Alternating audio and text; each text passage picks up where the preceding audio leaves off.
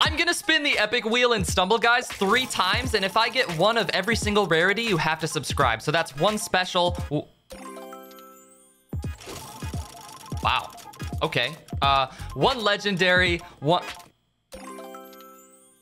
No way. And one epic.